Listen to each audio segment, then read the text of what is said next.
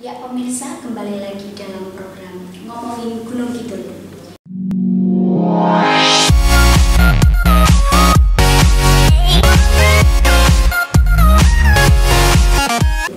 Kita masih dibersamai dengan dua narasumber yaitu Bapak Triharjono dan Bapak Mursidi. Kita lanjutkan ke pertanyaan berikutnya Bapak. Apa saja dampak yang terjadi dengan penghentian sementara kegiatan pariwisata di Kabupaten Gunung Kidul, Bapak?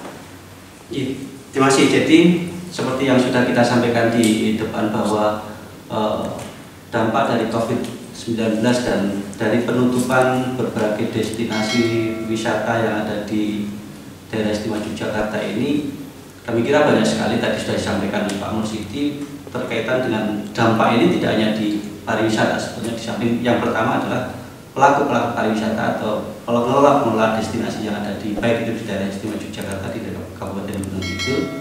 Tetapi ini juga melebar ke berbagai segmen ekonomi masyarakat yang berkaitan dengan pedagang tadi. Ada kemudian eh, transportasi ada travel ada semua hampir ini terkena dampak dari eh, COVID-19 dengan menyebarnya COVID-19 ini sehingga memang dampaknya menjadi luar biasa. Nah ter, termasuk di dalamnya tadi sudah kita sampaikan bahwa ketika tutupnya destinasi wisata ini tentu satu berhentinya juga pendapatan mereka yang ada di wisata. Ini dari pelaku wisata.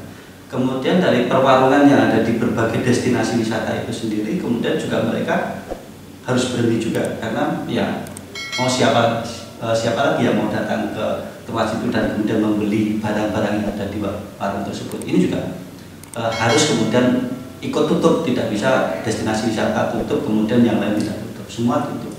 Nah ini juga dampak dari uh, COVID-19 yang kemudian menyebar di situ.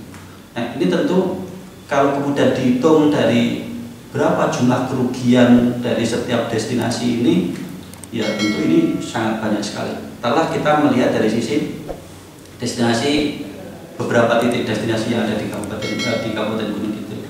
Berapa eh, karyawan atau berapa pengelola destinasi di Sri Gedung kita ada sekitar 101 pedagangnya ada 60 di Ngelanggeran ada 200-an orang belum ada di kelompok-kelompok di situ dari pelaku wisata itu sendiri kira-kira misalnya honor atau pendapatannya kira-kira per bulannya itu bisa mencapai ya dihitung dengan satu juta berarti satu juta kali 101 orang per bulan.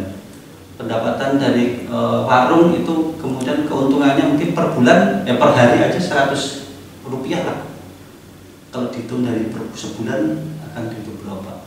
Belum kemudian dampak-dampak yang lain sehingga ini memang mempunyai dampak yang sangat luar biasa terhadap COVID ini. Nah mudah-mudahan ini COVID ini juga harus segera berhenti agar kemudian eh, pergelakan atau kemudian perputaran ekonomi ini bisa pulih kembali. Ya tentu ini diperlukan kesadaran kita bersama bukan hanya pemerintah tetapi kita sebagai masyarakat bagaimana kemudian e, mensikapi terhadap COVID-19 ini. Ya, terima kasih Bapak atas tanggapan yang diberikan. Berlanjut kepada Bapak Mursidi, masih dengan pertanyaan yang sama Bapak. Apa saja dampak yang terjadi dengan penghentian sementara kegiatan pariwisata Gunung Kidul khususnya bagi kawan-kawan pelaku Pokdaris di Desa Pelanggeran, Pak. Ya, kembali lagi saya sampaikan bahwasanya dengan adanya penghentian ataupun aktivitas kegiatan khususnya di desa wisata kami di Pokdawis Desa Wisata Pelanggeran, sekali lagi teman-teman Pokdawis otomatis e, pendapatannya akan istilah kehilangan pendapatan. Di sisi lain juga karena konsep kita adalah e, pemberdayaan masyarakat, konsep kita adalah desa wisata kami menggerakkan potensi-potensi yang ada di desa wisata kami di desa wisata Ngelanggeran kemudian otomatis UKM-UKM yang selama ini bekerja sama terintegrasi dengan aktivitas kegiatan desa wisata kami di Podaris Ngelanggeran otomatis juga terhenti semuanya dari situlah eh, dampak yang mereka rasakan contoh di Ngelanggeran ini ada beberapa UKM yang eh, selama ini bekerjasama dengan ataupun ter, terintegrasi dengan kegiatan desa wisata. Ada gria coklat, ada gria spa, kemudian ada gria batik. Eh, itu semua pemberdaya, memberdayakan kelompok-kelompok yang ada di masyarakat. Otomatis dengan demikian, dengan terhentinya kegiatan aktivitas de, desa wisata ataupun aktivitas wisata, mereka juga berhenti dalam arti ya ekonominya juga berhenti.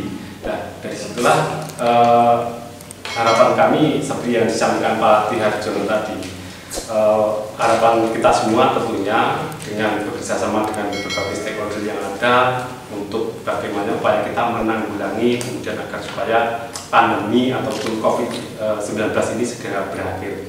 Kami dan teman-teman pernah menghitung, jadi menghitung bukan kerugian, tetapi seharusnya yang kami dapatkan ya dengan adanya pembatalan-pembatalan ataupun penundaan Eh, kunjungan kunjungan di desa wisata kami itu dari pertengahan Maret sampai April ini saja itu kita hitung itu hampir 350 juta kehilangan uh, omset kami di desa wisata Mandira.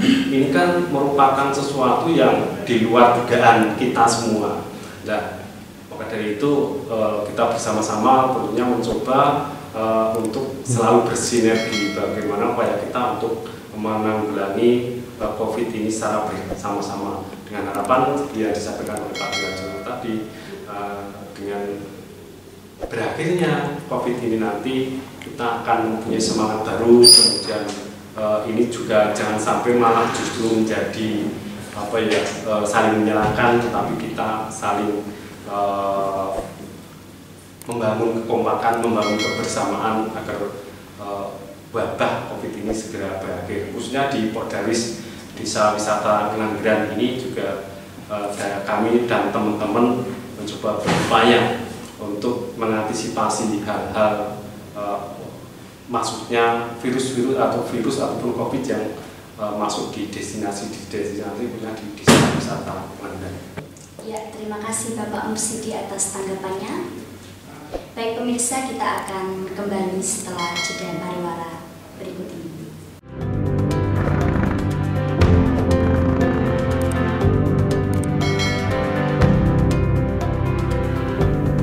Gunung Kidul, Miracle of Yogyakarta.